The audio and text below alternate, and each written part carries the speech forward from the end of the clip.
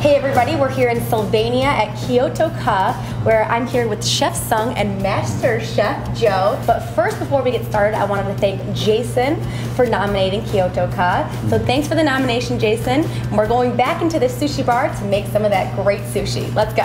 All right, what are we gonna be starting off with first? Okay, this is gonna this is calling salmon rolls. Oh, salmon rose. Yes. I like the sound of it. Right, it's Okay. kind of appetizer. We with a um, scallop that's and a salmon around it. Right now, he's cutting the fresh salmon, Wow. four pieces, so that you can make it like a rose. Okay. But we're gonna broil it this time, so it's not like So it's all cooked. So for those of you who aren't too into the raw fish thing, then this is perfect for you because it's actually cooked, right? yes, it All right, is. well that's perfect. So what's next? Okay, red bit, sweet sauce, spicy crab. Spicy crab. Mm-hmm. So this is going to be a spicy dish. Yes, Yes. it's a little bit spicy, Just a little but kick to yes, it, nothing yes. too outrageous. Right. How So long is that going to be in there? This will take about about about 30 seconds Okay. to cook it. So while that's cooking, I wanted to talk about a little bit. You guys are actually opening up a new restaurant, right? Right, at downtown Toledo. Downtown Toledo. At Toledo Edison's building, we'll be on the first floor. That's exciting. How long have you guys been here in Sylvania? We've been here about eight years so far. And now the decoration. Decoration with a s- sweet sauce. Ooh.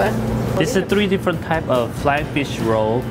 Flying fish roll. What's the green one? Green one is a flying fish roll with a wasabi. um, Ah, wasabi mixed into Yes. the flying fish roll. And then the dark one, Black, black flying fish roll. black Yeah. flying fish roll. Yeah. Here we have our beautiful rose. Great job, Master Chef Joe. We're gonna put this aside right now. And what are we making next, Joe? Yeah, Hawaiian volcano. A Hawaiian volcano. Okay, so we're gonna make a roll uh, with the spiced tuna inside. Okay. And on top, we're gonna put some uh, red snapper on, fresh red snapper on top. Looks good. Yeah. Okay, so now we have right here, this is just a spicy tuna roll. Yeah. Yes. Okay. Okay, so we're gonna lay the snapper on top. Okay, a flaming skillet. Yes. So Wow. Wait, this one, now I have an idea why it's Yeah. called the volcano. Yeah. sea salt. Sea salt, 50% alcohol. Yeah. You don't mess around, do you? okay, here it goes. Now I know why it's called the Hawaiian volcano.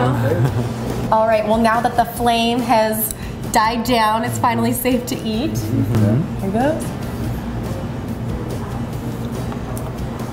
Mmm. Well done, Chef Joe. Very good. This is the most beautiful rose that any man has ever mm. given to me. So props to you guys. It's absolutely perfect.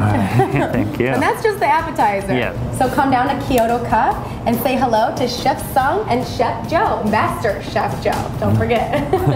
Thanks guys so much for having me. It was a lot of fun. Thank you. And don't forget to visit my Facebook page to vote for your favorite local dishes for Life Tastes Better here.